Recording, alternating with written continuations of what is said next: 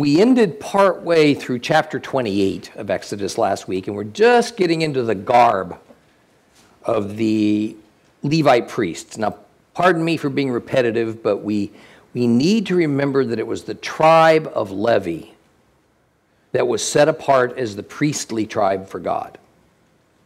Now, even though we use the general de- designation of the tribe of Levi as the priestly tribe, that does not mean that all Levites were priests.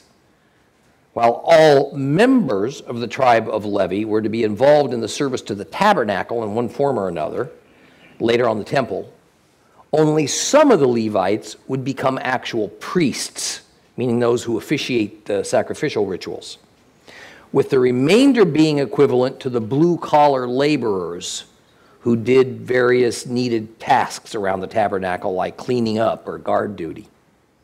So while we tend to bandy about the term Levite priests, as though it's two synonymous terms, Levites and priests, in fact, only a few Levites ever became priests, and that was determined solely by which of the several clans of Levites they were born into.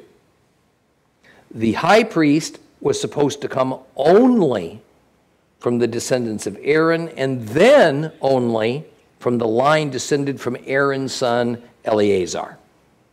That said, that's not actually what always happened in later times. Well, now on to the high priest whose clothing was distinct from all the other priests. So turn your Bibles to Exodus chapter 28. If you have a complete Jewish Bible, it's page 91. And we're going to read chapter 28. Exodus chapter 28. Follow along with me, please. You are to summon your brother Aharon, Aaron, and his sons to come from among the people of Israel to you so that they can serve me as Kohanim, as priests. Aaron and his sons, Nadab, Abihu, Eleazar, and Ithamar. You are to make for your brother Aaron garments set apart for serving God, expressing dignity and splendor, and speak to all the craftsmen to whom I've given the spirit of wisdom. Have them make Aaron's garments to set him apart for me, so that he can serve me in the office of priest. The garments they are to make are these a breastplate, a ritual vest, a robe, a checkered tunic, a turban, and a sash. And they are to make holy garments for your brother Aaron and his sons so that he can serve me in the office of priest. They are to use gold, purple, and scarlet yarn, a gold, blue, purple, and scarlet yarn, and fine linen. They are to make the ritual vest of gold, of blue, purple, and scarlet yarn, and a finely woven linen crafted by a skilled artisan. Attached to its front and back edges are to be two shoulder pieces that can be fastened together. Its decorated belt is to be of the same workmanship and materials gold, blue, purple, and scarlet yarn, and finely woven linen. Take two onyx stones and engrave on them the names of the sons of Israel, six of their names on one stone, six remaining names on the other, in the order of their birth. An engraver should engrave the names of the sons of Israel on the two stones as he would engrave a seal. Mount the stones in gold settings. Put the two stones on the shoulder pieces of the vest as stones calling to mind the sons of Israel. Aaron is to carry their names before Adonai on his two shoulders as a reminder. Make gold squares and two chains of pure gold, twisted like cords. Attach the cord like chains to the squares. Make a breastplate for judging. Have it crafted by a skilled artisan. Make it like the work of the ritual vest. Make it of gold, blue, purple, and scarlet yarn, and finely woven linen. When folded double, it's to be square, a hand span by a hand span. Put on it settings of stones, four stones in a row. The first row is to be a carnelian, a topaz, and an emerald. The second row a green feldspar, a sapphire, and a diamond. The third row, an orange zircon, an agate, and an amethyst. And the fourth row, a beryl, an onyx, and a jasper. They are to be mounted in their gold settings, and the stones will correspond to the names of the 12 sons of Israel. They are to be graved, engraved with their names as a seal would be engraved to represent the 12 tribes. On the breastplate, make two pure gold chains twisted like cords. Also, for the breastplate, make two gold rings, and put the gold rings on the two ends of the breastplate, and put the two twisted gold chains and the two rings at the two ends of the breastplate. Attach the two ends of the twisted chains to the front of the shoulder pieces of the ritual vest. Make two gold rings and put them onto the two ends of the breastplate at its edge on the face on the side facing in, the, in towards the vest. Also make two gold rings and attach them low on the front part of the vest's shoulder pieces near the join above the vest's decorated belt. Then bind the breastplate by its rings to the rings of the vest with a blue cord, so that it can be on the vest's decorated belt, and so that the breastplate won't swing loose from the vest. Aaron will carry the names of the sons of Israel on the breastplate for judging over his heart when he enters the holy place as a continued reminder before Adonai. You are to put the Urim and Thummim in the breastplate for judging. They will be over Aaron's heart when he goes into the presence of Adonai. Thus, Aaron will always have the means for making decisions for the people of Israel over his heart when he's in the presence of Adonai. You are to make the robe for the ritual vest entirely of blue. It is to have an opening for the head in the middle, and around the opening is to be a border woven like the neck of a coat of mail so that it won't tear. On the bottom hem, make pomegranates of blue, purple, and scarlet. Put them all the way around with gold bells between them all the way around. Gold bell, pomegranate, gold bell, pomegranate, all the way around the hem of the robe. Aaron is to wear it before wear it when he ministers, and its sound will be heard whenever he enters the holy place before Adonai and when he leaves, so that he won't die. You are to make an ornament of purple gold, uh, purple, uh, ornament of pure gold, and engrave on it as on a seal, set apart for Adonai. Fasten it to the turban with a blue cord on the front of the turban over Aaron's forehead, because Aaron bears the guilt for any errors committed by the people of Israel in consecrating their holy gifts. This ornament is always to be on his forehead, so that the gifts for Adonai will be accepted by him. You are to weave the checkered tunic of fine linen, make a turban of fine linen, make a belt, the work of a weaver in colors. Likewise, for Aaron's sons, make tunics, sashes, and headgear expressing dignity and splendor. With them clothe your brother Aaron and his sons, then anoint them, inaugurate them, consecrate them, so that they will be able to serve me in the office of priest. Also make for them linen shorts reaching from waist to thigh to cover their bare flesh. Aaron and his sons are to wear them when they go into the tent of meeting and when they approach the altar to minister in the holy place so that they won't incur guilt and die. This is to be a perpetual regulation both for him and for his descendants. That's a mouthful, isn't it? Working from the inside out. The high priest, just as the lower priests, was to wear breeches, underwear, kind of like long johns. And usually this garment went from the waist to the knees. Now, white in color had a twofold purpose. First, it was to maintain a high degree of modesty. Now, many of the pagan religions of that day had their priests serve their gods naked, or they wore something very sensual and erotic. Second of all, it served the same practical sanitary purposes as our modern underwear does. The priest's outer garments could not be soiled by conditions of the flesh, normal or abnormal. If they were, they had to be carefully washed, and in those days, that was quite a chore. Now, over the breeches was a tunic, usually mistakenly called a coat in most Bible translations. Now, according to Josephus, the tunic was fairly tight fitting and it went from neck to feet. And like the breeches, it also was made of white linen.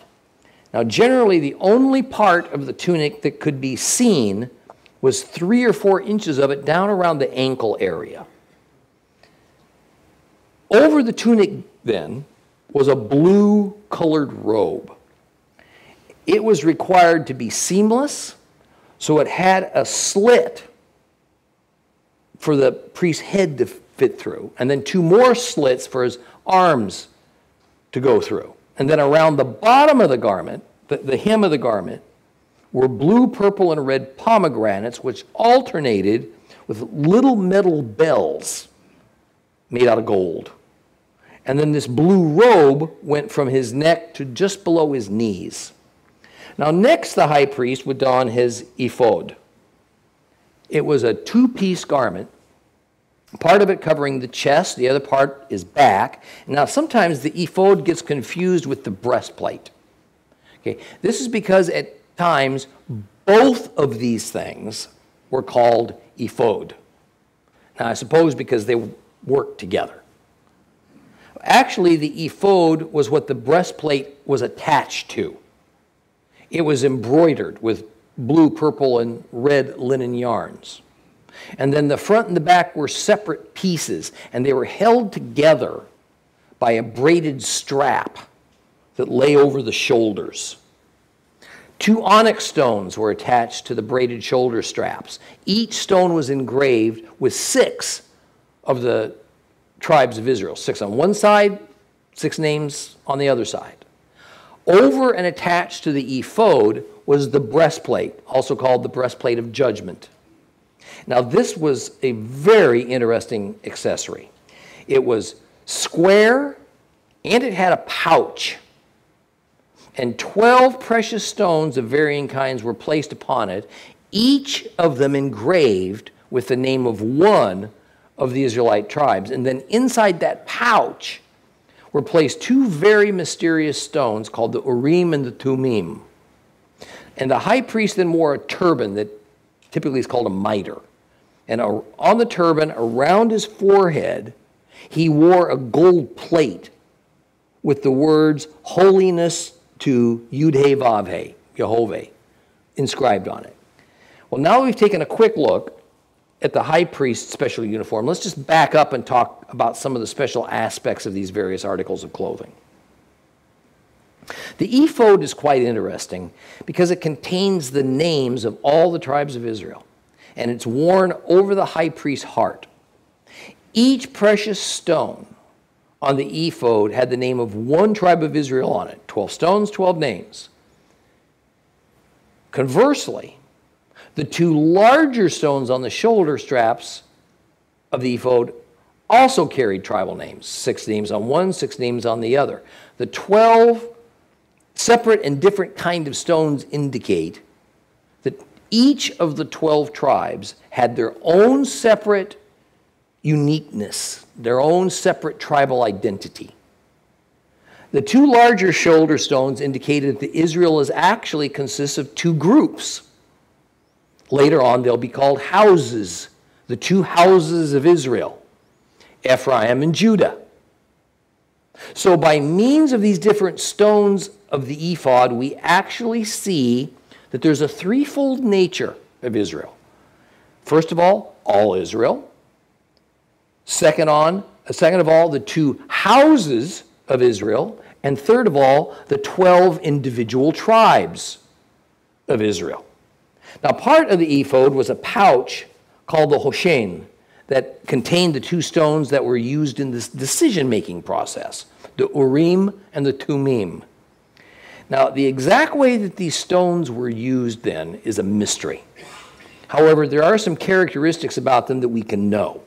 For instance, they were, they were carried in, they were stored in, and was considered part of the, the ephod, all right, that is the ephod along with its breastplate. And the breastplate was also called the breastplate of, of justice or judgment in Hebrew, Hoshen Hamishpat. Now, I hope you recall our, our lesson sometime back about the words judgment and justice, which in Hebrew is mishpat. And the first thing to keep in mind is that we are not, not to take the use of the word judgment as it's used here as meaning wrath or punishment. Mishpat does not mean punishment. Now, Christianity typically thinks that the biblical use of the word judgment means always means a negative consequence for something that mankind's done wrong, a divine punishment. In other words, we should not think of the breastplate as a name for it as the breastplate, say, of God's wrath. Right? Mishpat just most, most literally means justice. So, breastplate of justice or breastplate of God's will is a better rendering according to our 21st century Western cultural minds. And with all those tribes of Israel represented on this breastplate, the idea is God is going to deal with Israel according to his system of justice. Now, as for the Urim and the Tumim,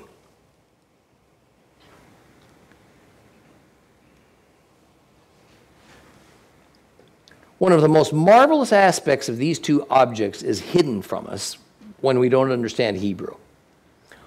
Urim means light, and Tumim means perfection or fulfillment. Technically, because these two words are plurals, it means lights and fulfillments or perfections. Light and perfection are perhaps the two most recognizable qualities of God Almighty. But it goes further. One of the titles given to Jehovah in the New Testament, one we're all familiar with, is the Alpha and the Omega the beginning and the end. This comes from the idea that in the Greek alphabet, the alpha is the first letter, the omega is the last. In English, it's like saying A and Z. But this alpha and omega concept was hardly a New, New Testament revelation because here in Exodus, the first letter of the word Urim is in the Hebrew alphabet Aleph, and the first letter of the word tumim is in the Hebrew alphabet tav, which is the last letter of the Hebrew alphabet. So the aleph is the Hebrew equivalent to alpha, and the tav is the equivalent to the omega, alpha, omega, aleph, tav, A to Z. So the Urim and Tumim represent parts of, uh, uh, parts of, of God's nature. He is the first and he is the last. Now, the Urim and Tumim were apparently used in decision making, whereby a choice from among two options needed to be made. Now, it could have been a one or the other, or a yes or no type of decision.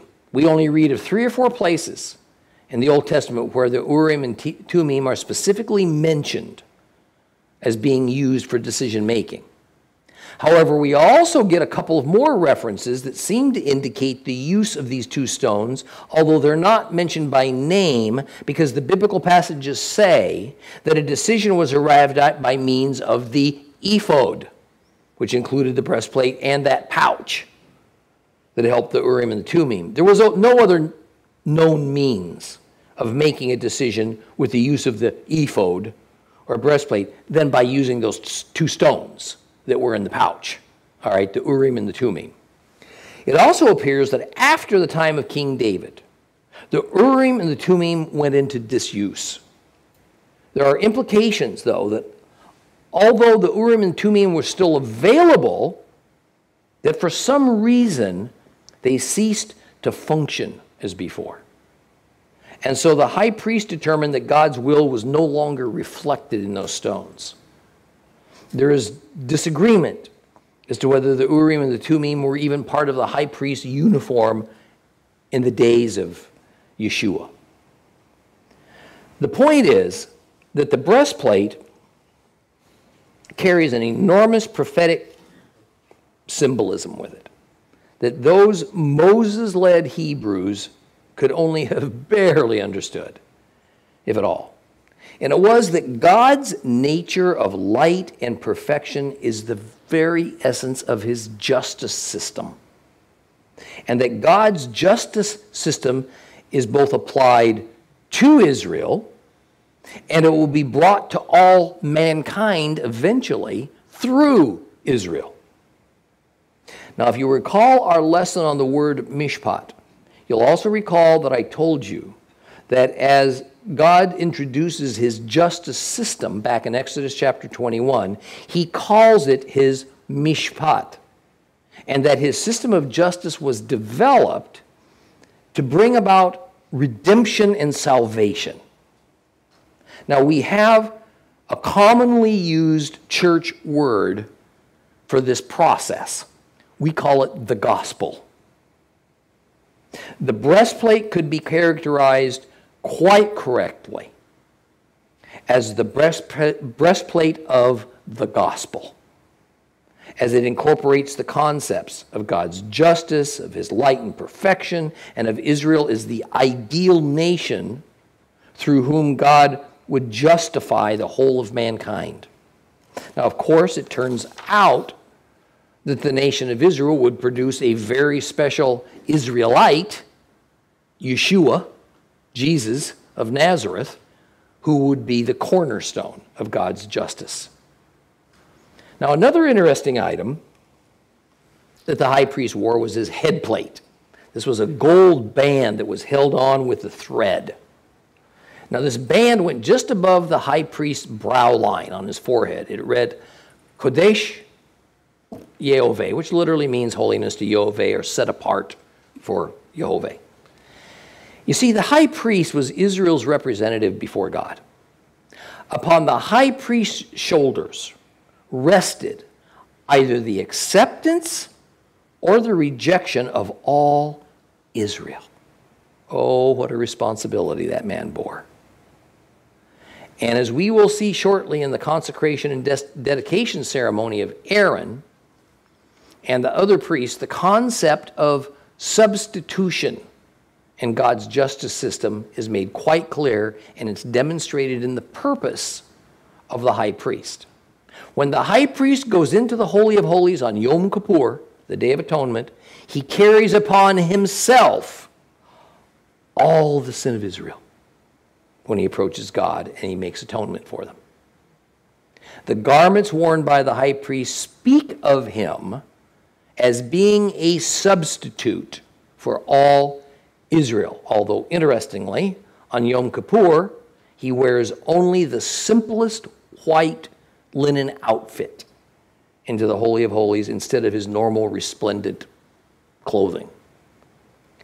And the animal sac- the uh, sacrificial animal whose blood the high priest, Cohen HaGadol in Hebrew, carries, and that he will sprinkle onto the mercy seat, bears the substitute death that is due mankind for our sins.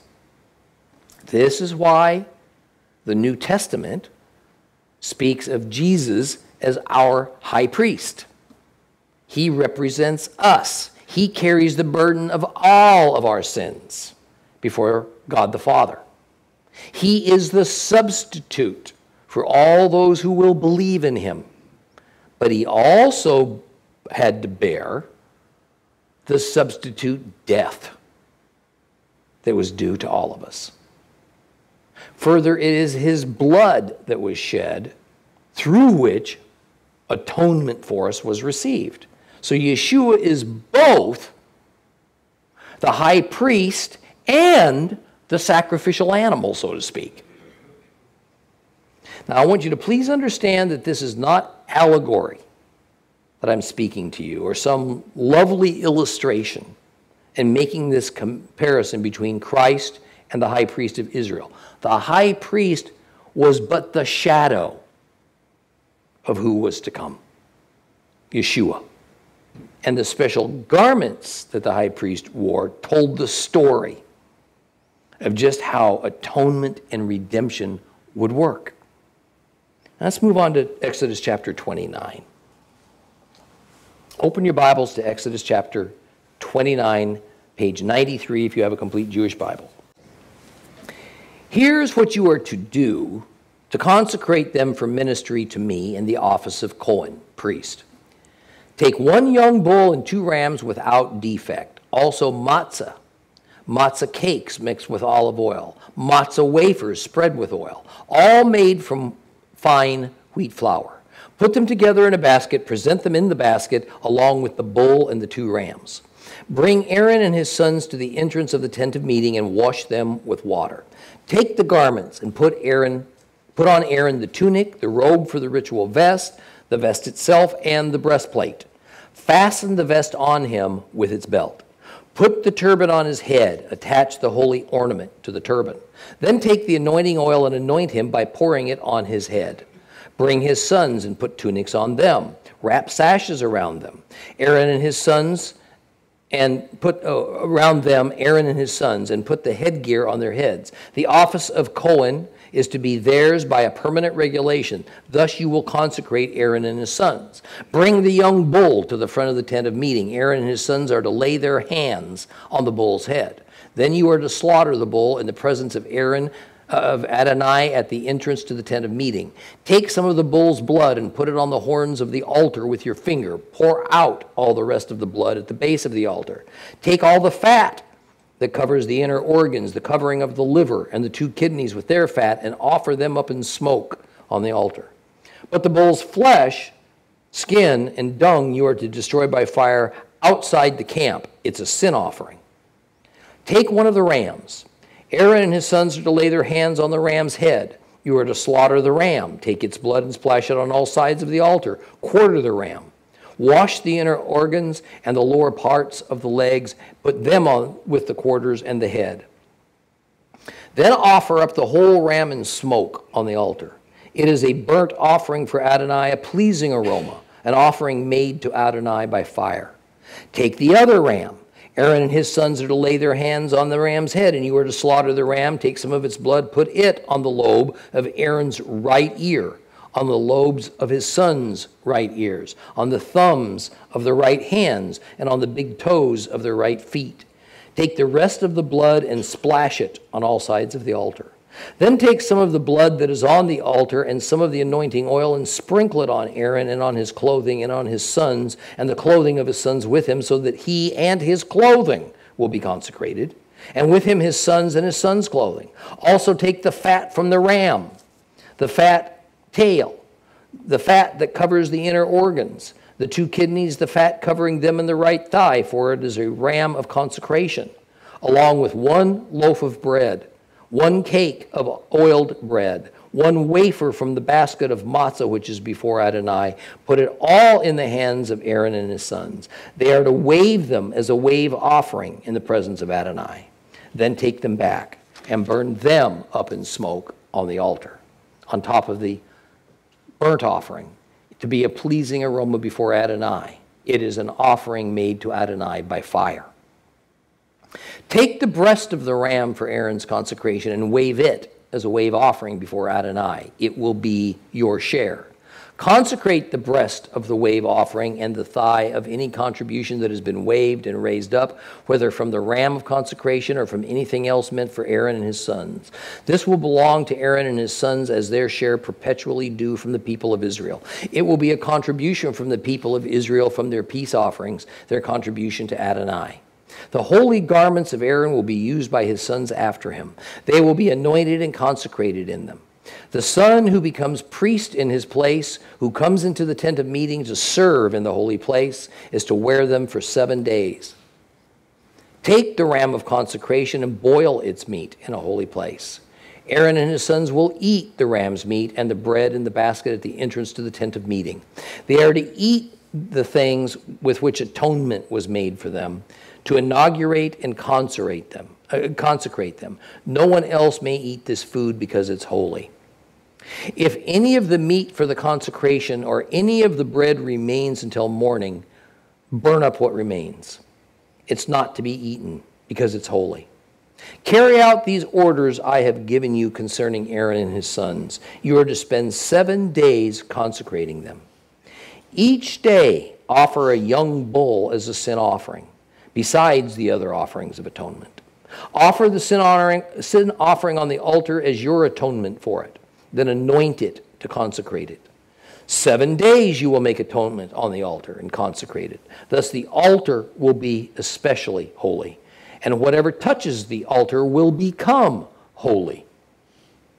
Now, this is what you are to offer on the altar two lambs a year old, regularly every day.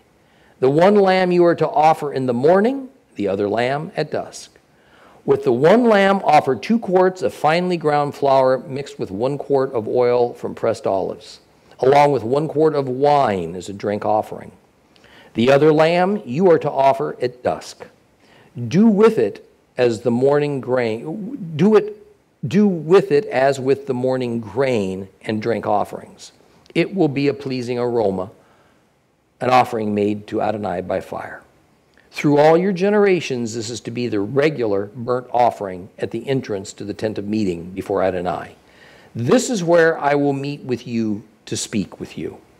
There I will meet with the people of Israel, and the place will be consecrated by my glory. I will consecrate the tent of meeting and the altar.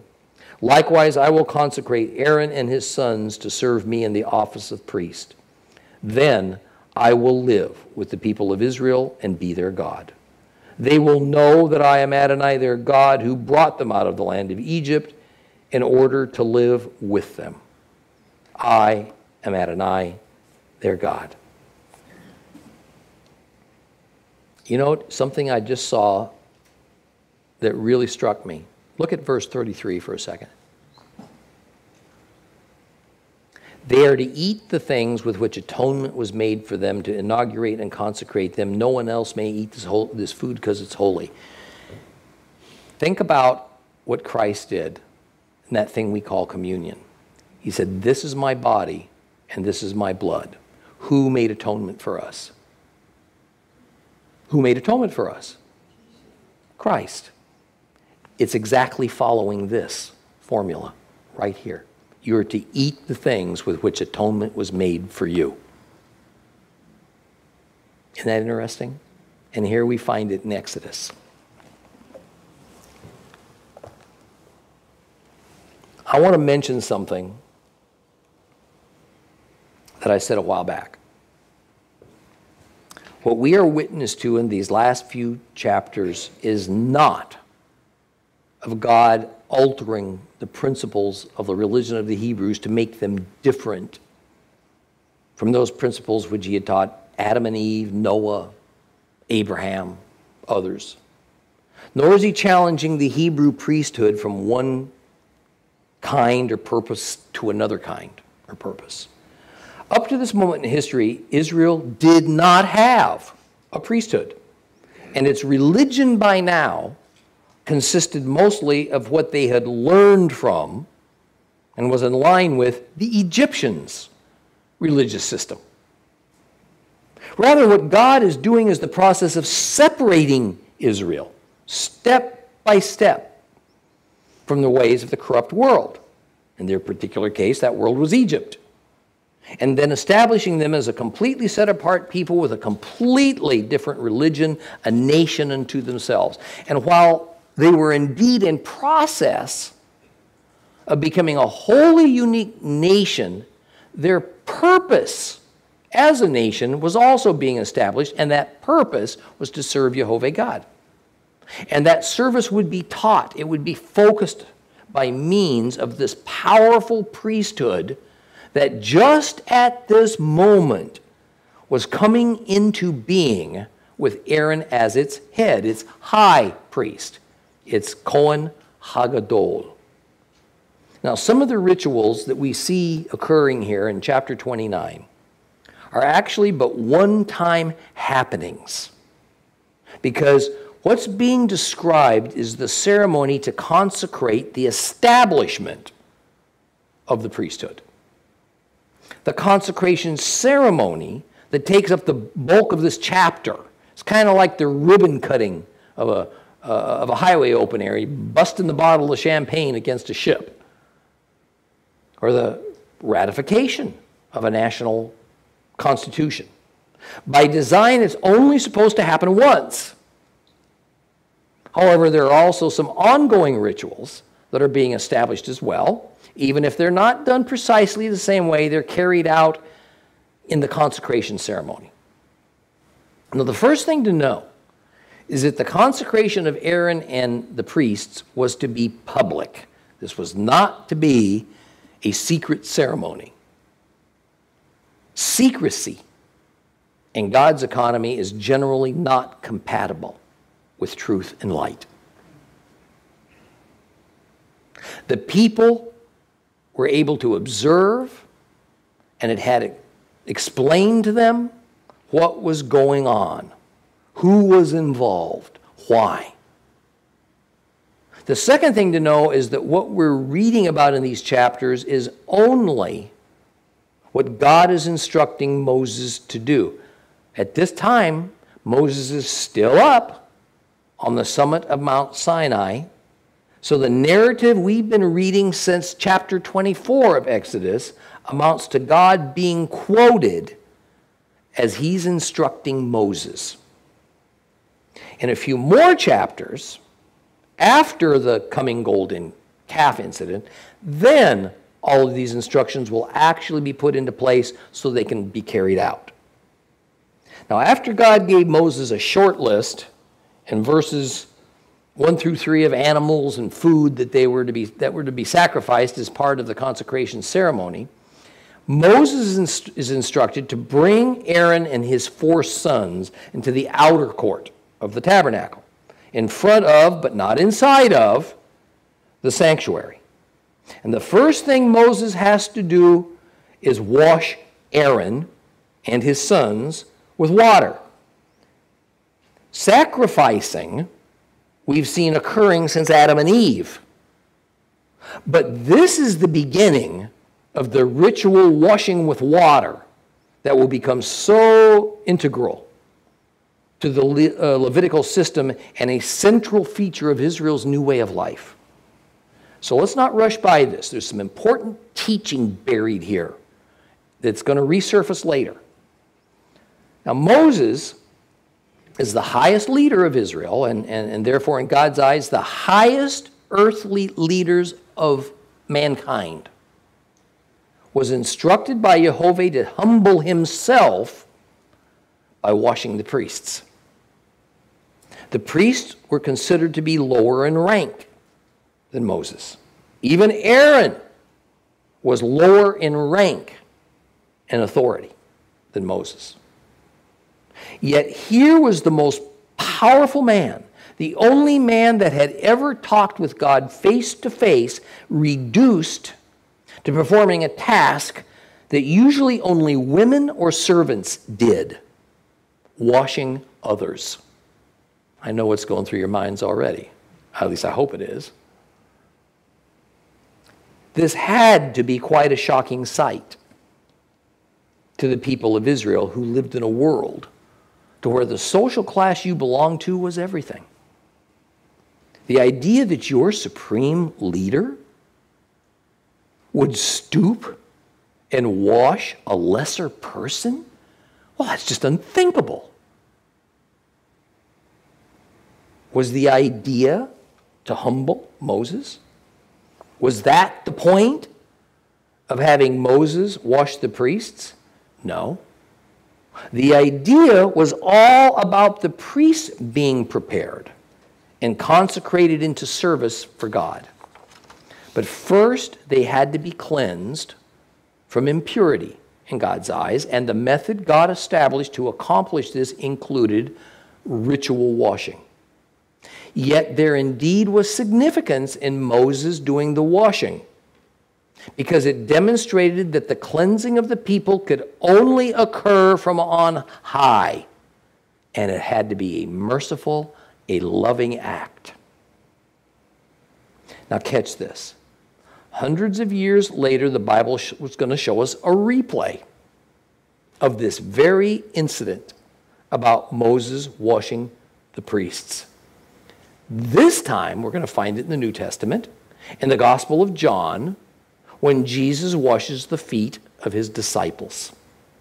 Yeshua, the highest leader on earth, Jesus the Master, Messiah, God incarnate, humbles himself as a servant.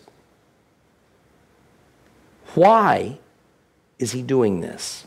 What's the significance of that act? In my opinion, this is the consecration ceremony of the new spiritual priesthood. Just as it was that Moses, the mediator, who acted on God's behalf to establish the earthly, physical priesthood, So it was that Yeshua the mediator established the spiritual, heavenly priesthood built upon faith and trust in him.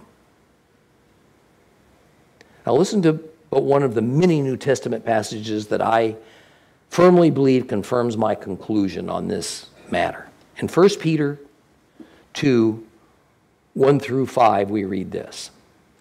Therefore, putting aside all malice and all guile and hypocrisy and envy and slander, like newborn babes, long for the pure milk of the word, that by it you may grow in respect to salvation, if you have tasted the kindness of the Lord. And coming to him as a living stone rejected by men, but choice and precious in the sight of God. You also, as living stones, are being built up as a spiritual house for a holy priesthood to offer up spiritual sacrifices acceptable to God through Jesus Christ. It's explained right there. Now, first, because of, frankly, too much false teaching running amok in the Hebrew roots movement. Notice that believers have not become the new and replacement physical and earthly priesthood. You have not replaced the Levitical priesthood. Rather, it is the spiritual element that's being addressed. It is from the spiritual point of view, as the verse says, a spiritual house for a holy priesthood in, offer, in order to offer up spiritual sacrifices. Second of all, remember that all who follow Christ, all of Messiah's disciples, are as priests. We in this room, Jew, Gentile, we who have turned the lordship of our lives over to Yeshua are his priests, or as the Bible calls us, a kingdom of priests or a holy house of priests. There is absolutely not a doubt in my mind that the startled, startled and bewildered disciples of Yeshua could not have made that connection between what Yeshua was doing to them by washing their feet and what Moses had done 1,300 years earlier by washing Aaron and his sons. Moses is consecrating Aaron and his sons as the first priesthood of Israel by washing them with water.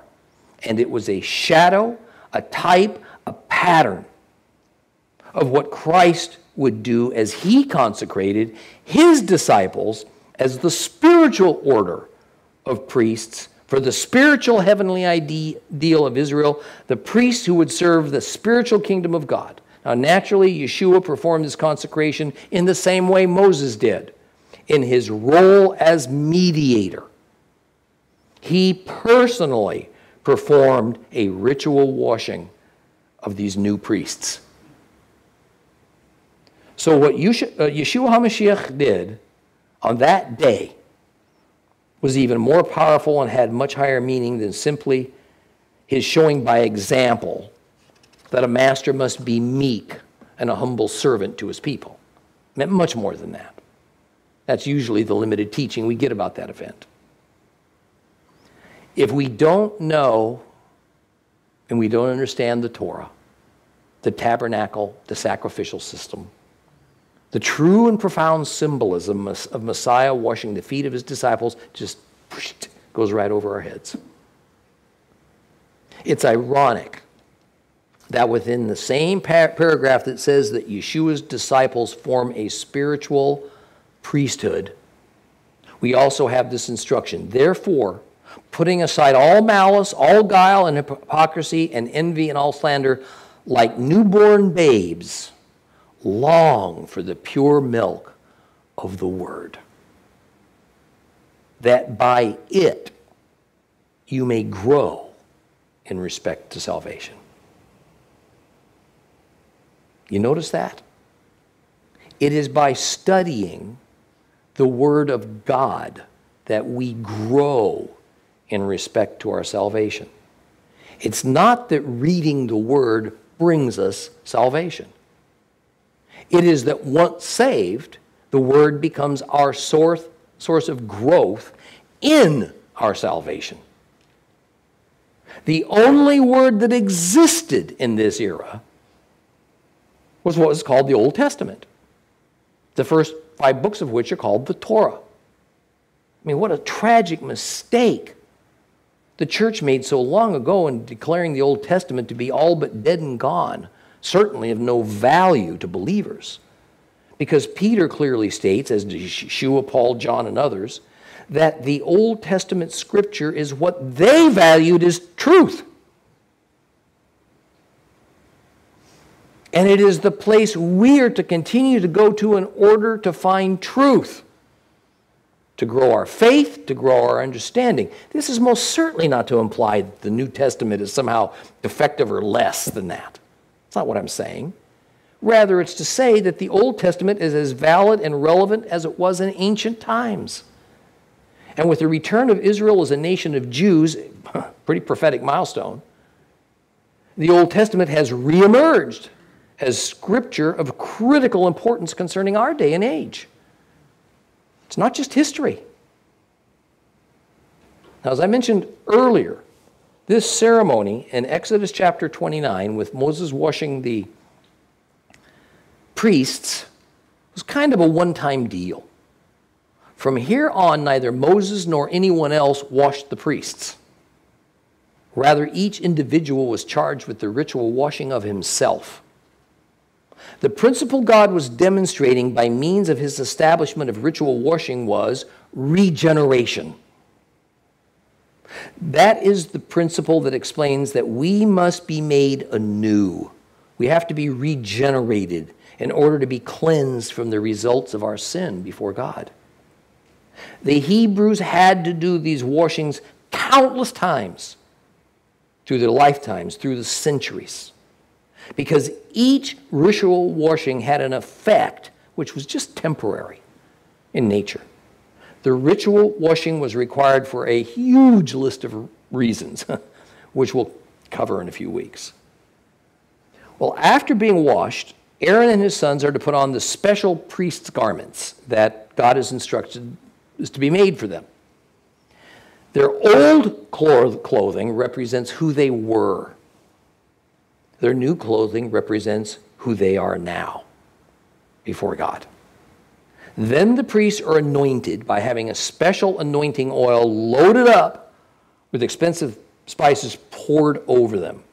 Now, by the way, we'll find later in Leviticus, even later still in the Talmud, that there was a certain manner in which this anointing was to be done. The oil had to be poured over their heads in a sufficient quantity that it ran not only down their faces and dripped off of their beards, but that it flowed all the way down to the hem of their garments. These were some oily people when this was over. They're never going to rust.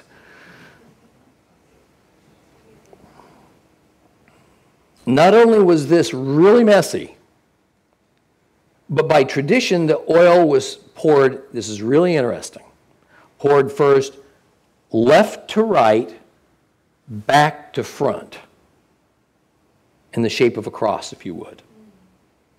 How about that for prophetic symbolism? The anointing of holy oil was symbolic and prophetic of Pentecost. That time when the Ruach HaKodesh, the Holy Spirit, could anoint man made possible by Yeshua's sacrifice on the cross.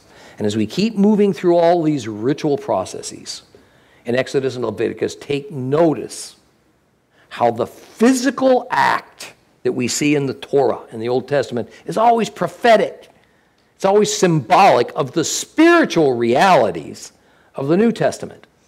That is, the Old Testament rituals were teachings and demonstrations and, and, and copies and patterns and shadows of what the future spiritual reality would be. But let's be clear, they were also very real and they were efficacious. They did exactly what they were supposed to do. Beginning in verse 10, a series of sacrifices is called for with Moses officiating. Moses officiates. Why? He's not the priest. He officiates because until the consecration ceremony is complete, there's no official priesthood to do it. So Moses acts in God's stead. Now, recall back in chapter 24 when the ritual of sealing the covenant of Moses was happening, God ordered Moses to build a stone altar and to sacrifice animals upon it. But it was not priests that performed those sacrifices because there weren't any priests yet. Rather, it was some young men selected. They were households, firstborn males, who officiated the sacrificing. A bullock, called an ox or a bull, was to be brought into the outer court area of the tabernacle near the tent of meeting, the sanctuary. And of course, the sacred tent was right next to the brazen altar. Israel now receives a visual demonstration of the meaning of the principle of substitution. The priests all lay their hands on the bull. This represents a transference of the priest's sins onto that innocent bull. This bull then becomes their substitute. The bull now bears the sin that was once their sin. The bull is then killed, skinned, and cut up into pieces. Some of the bull's blood is captured in a ceremonial bronze pail, and the blood is splashed onto the bottom of the altar. Some is spread onto the horns of the altar. Normally, a bull would have been tied to one of the, uh, one of the uh, horns on the brazen altar, but not in this case. Part of what is happening here was not only the consecration of the priests, but also the consecration of the tabernacle itself, of all the utensils, even of the brazen altar. Until the bull was killed, until its blood was spilled and used to cleanse the altar, the altar wasn't even fit for use. But once that was accomplished, then the meat of the sacrificial animal can then be burned, burned up on the altar. And notice that the parts of the bull that were placed on the altar did not include the bull's flesh, only the fat that covered its inner organs was placed on the altar. The entire remainder of the animal, including the meat, the bones, the hide, that was taken outside the encampment of Israel, and it was burned up and offered up as what's called a sin offering. Now, in the Bible, you see, the fat is considered the most valuable part of the animal. So, only the most valuable part of the animal was offered to God on the brazen altar in this special sacrifice, this sacrifice of consecration. The rest of the animal was not offered up on the brazen altar and not even within the camping area of Israel. In fact, I believe this very first sacrifice of a bull in the tabernacle was the model for another and very special sacrifice utilizing a red heifer that would come later. Now, I mention this because those of you who like prophecy know that the sacrifice of a red heifer is going to be an important requirement for the, the dedication, actually, the consecration of a new temple that's going to be built in Jerusalem one day, and I don't think very long from now. Now, you see, we have to take notice of a most unusual and mysterious feature of this inaugural sacrifice of the bull, and later on of a red heifer. Because in both cases, the sacrifice is not offered in a holy place, not even in a ritually clean place, as you would think.